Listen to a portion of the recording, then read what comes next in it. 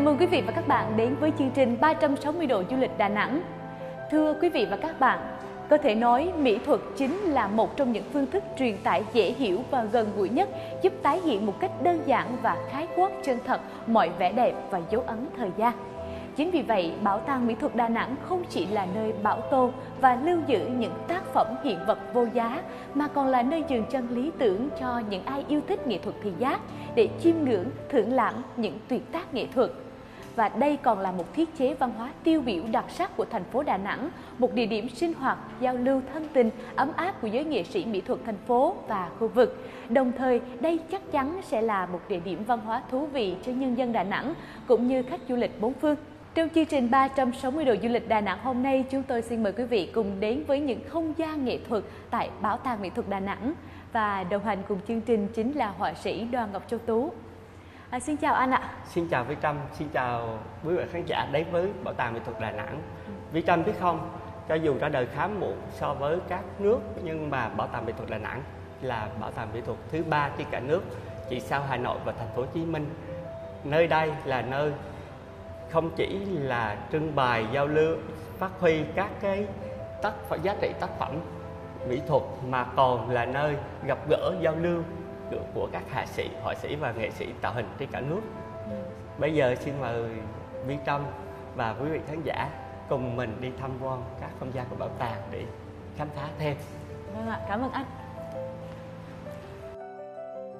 Bảo tàng Mỹ thuật Đà Nẵng được thành lập ngày 29 tháng 7 năm 2014 với vai trò đại diện cho khu vực miền Trung và Tây Nguyên, nhằm bảo tồn, giới thiệu và phát huy các giá trị di sản mỹ thuật trong khu vực. Bảo tàng chính thức mở cửa đón khách tham quan từ ngày 19 tháng 12 năm 2016. Tọa lạc tại địa chỉ 78 Lê Duẩn, phường Thạch Thang, quận Hải Châu, thành phố Đà Nẵng. Bảo tàng Mỹ thuật Đà Nẵng hiện đang lưu giữ và trưng bày, giới thiệu đến công chúng hơn 1.000 tác phẩm mỹ thuật đương đại và các hiện vật mỹ thuật dân gian truyền thống, cùng nhiều sản phẩm thủ công mỹ nghệ truyền thống từ các nhà điêu khắc, họa sĩ, nghệ nhân ở Đà Nẵng và một số tỉnh thành khu vực miền Trung Tây Nguyên. Tất cả được bố trí trong không gian gồm 3 tầng với tổng diện tích khoảng 1.200 m2. Với kiến trúc tinh tế hiện đại cùng số lượng tác phẩm mỹ thuật đáng kể, nơi đây chắc chắn sẽ mang đến cho du khách nhiều trải nghiệm tuyệt vời cho chuyến du lịch Đà Nẵng khó quên.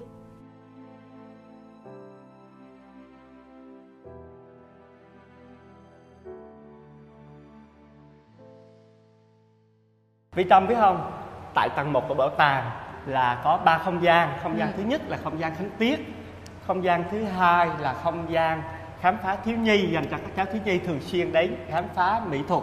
Không gian thứ ba là không gian chúng ta đang đứng ở đài. Đây là nơi triển lãm về chuyên đề của các thế nghệ sĩ trẻ. Đây chính là một cái không gian mà có sự thay đổi ở bảo tàng mỹ thuật của mình anh Tú biết không khi mà vừa đặt chân đến bảo tàng này thì em rất là ấn tượng với bức phù điêu bằng đồng này. Anh có thể cho em biết ý nghĩa của bức phù điêu này được không ạ? Cái bức phù điêu này á là bức phù điêu mà được tâm huyết của rất là nhiều nhà nghiên cứu về văn hóa và các cái họa sĩ tạo hình đã góp ý cùng với các nghệ nhân đến từ Hà Nội ừ. tạc nên cái bức phù điêu này rất là chi tiết.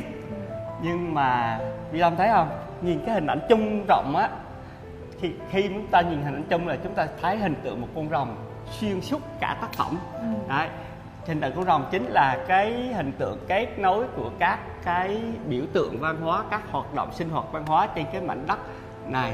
Nè. Em nhìn thấy uh, cầu sông Hàn và uh, tòa nhà hành chính của thành phố này rồi đây là tượng Phật bà ở trên uh, chùa Linh Ứng đúng không ạ? Đúng rồi. À. Còn đây là tượng Mẹ Thứ ở tại Quảng Nam. Đó là một cái tượng rất là lớn nhưng mà mình đặt chi tiết vào đây để khẳng định đây là Văn cái nơi tập trung lại để chúng ta cùng nhìn ngắm vào đây để mà biết được cái ý tưởng của bảo tàng ừ. lưu giữ và phát huy các ừ. giá trị văn hóa của nghệ thuật tạo hình.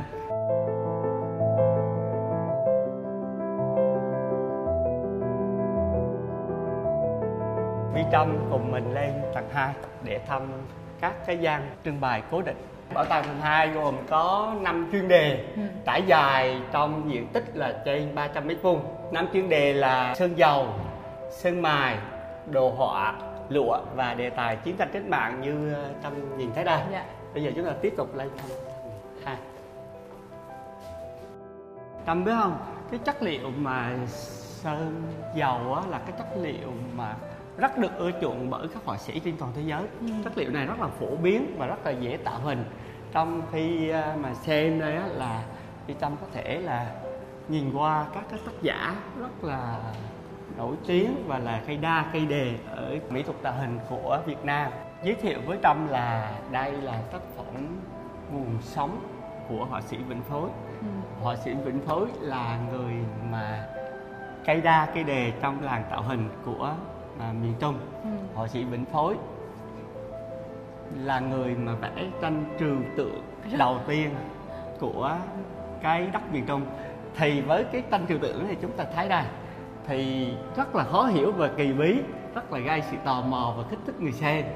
Tâm thấy ở ngay giữa đây nè là một cái hoa sen. Từ trên hoa sen có những cái đường chảy ra theo cái cách trình bày của cái cái cái lối tranh trừu tượng á hơi khó hiểu nhưng mà chúng ta phải tập trung một chút để theo từ hoa sen đi tỏa ra là các chung quanh các các cái vòng xoáy âm dương ừ. đó, đây là chính là sự vận động của cuộc sống ừ. chính cái cái sự vận động và cái tình yêu thương được thể hiện bởi cái hoa sen thì chúng ta cảm nhận được cái nguồn sống cái năng lượng sống cái năng lượng của để để dành cho cái con người thì nó trong nội tại nó nằm ở trong tác phẩm. Tác giả muốn nói chúng ta như thế. Dạ rất là ý nghĩa ạ.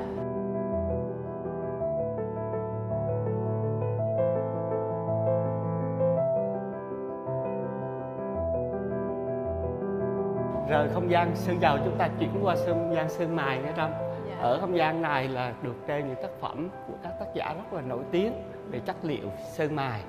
Cái chất liệu sơn mài á, thì là tất cả các, các chất liệu sơn mài đều là sơn mài nguồn gốc là từ thiên nhiên và truyền thống.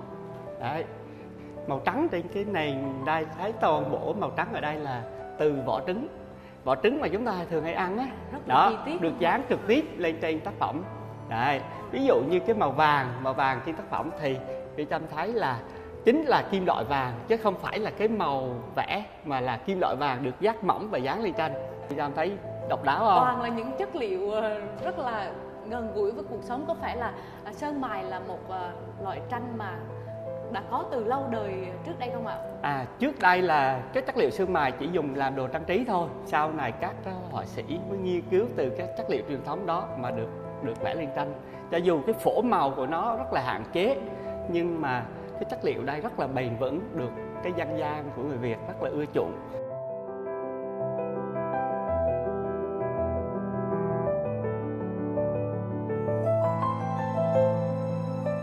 Tiếp tục uh, mời uh, trong qua xem không gian của những tác phẩm lụa. Tranh lụa. À, những tác phẩm có chất liệu lụa này á, là nó rất là mềm mại ừ. và nó nổi rõ cái chất liệu lụa. Rất là nữ tính và rất là à, dịu dàng. À, chất liệu lụa rất khác, là đặc biệt. khác hẳn với sơn mài đúng không ạ? Ừ nó um, nhẹ nhàng nét hơn. vẽ cũng uyển chuyển hơn.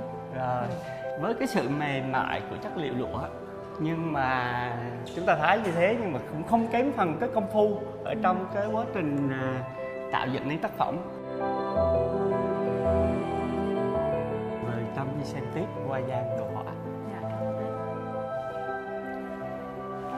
chúng ta vừa dạo qua cái không gian của tranh có chất liệu là đồ họa. Ừ. bây giờ thì mình sẽ đến không gian rất là đặc biệt đây là không gian có đề tài chiến tranh cách mạng. Này không gian này trưng bày các tác phẩm về đề tài chiến tranh cách mạng. Một mặt là giới thiệu với công chúng cái thời chiến tranh, cái cái anh hùng của dân tộc Việt và tri ân các cái họa sĩ đã có công trực tiếp trên chiến trường vẽ những bức tranh này để lại chúng cho chúng ta những tư liệu rất là quý giá để chúng ta biết cái sự hào hùng và sự hy sinh cái khắc nghiệt ở trên chiến trường như thế nào. Và người họa sĩ trực tiếp vẽ ngay tại chiến trường khói lửa vì cái sự hạn chế trên chiến trường cho nên các họa sĩ không thể đem được đầy đủ các cái màu vẽ ừ. lên trên chiến trường nữa yeah. Dạ. mà các họa sĩ đem những cái thứ gì thì gọn gàng nhất vừa lăn lộn trên chiến trường mà còn làm cái nhiệm vụ là trực tiếp chiến đấu nữa ừ. chứ không phải là ra chiến trường là chỉ là ghi chép mà còn khói lửa bom đạn cho nên là sự cống hiến đó là chúng ta phải ghi nhận những bức hình này của họa sĩ à, Hà Xuân Phong vẽ trên chiến trường rồi. Ông hy sinh trên chiến trường đấy luôn ạ. À? vào năm 74 á một lần vượt sông thì họa sĩ đã bị à, à, chết chìm trên sông. Thế thì à, tác gia họa sĩ Hà Xuân Mộc đã để lại cho chúng ta trên 100 ký họa chiến trường được vẽ trực tiếp trên chiến trường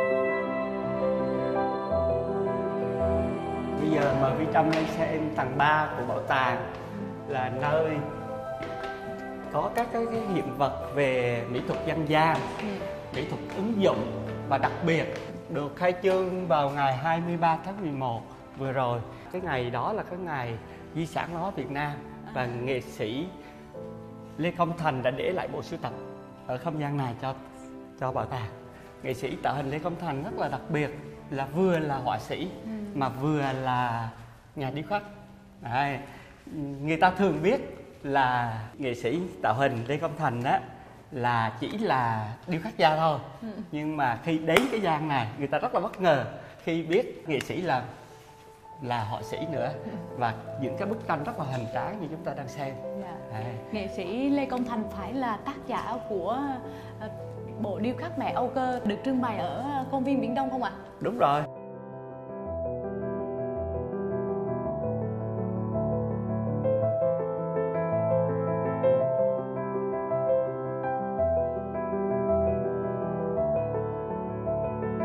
sau khi tham quan các gian trưng bày của bảo tàng bây giờ chúng ta trở về không gian trải nghiệm để trực tiếp tự tay chúng ta sẽ in lên một bức tranh đồng hồ. À, À,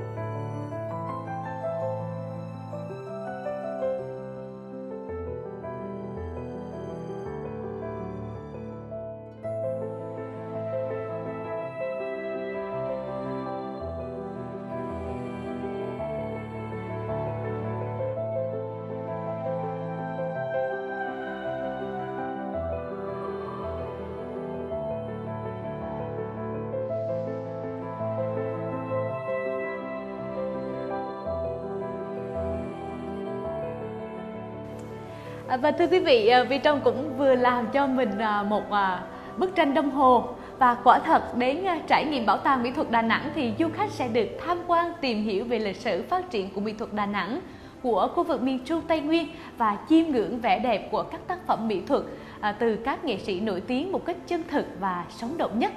Và như thế thì nhắc đến Đà Nẵng thì không chỉ có những bãi cát trắng dài, những ngọn núi hùng vĩ, những khu nghỉ dưỡng sang trọng mà còn có những cái công trình kiến trúc rất là độc đáo và hiện đại và trong đó thì bảo tàng mỹ thuật cũng là một trong những điểm đến thu hút rất là nhiều người dân và du khách và một lần nữa rất là cảm ơn à, họa sĩ à, Châu Tú đã đồng hành cùng chương trình hôm nay.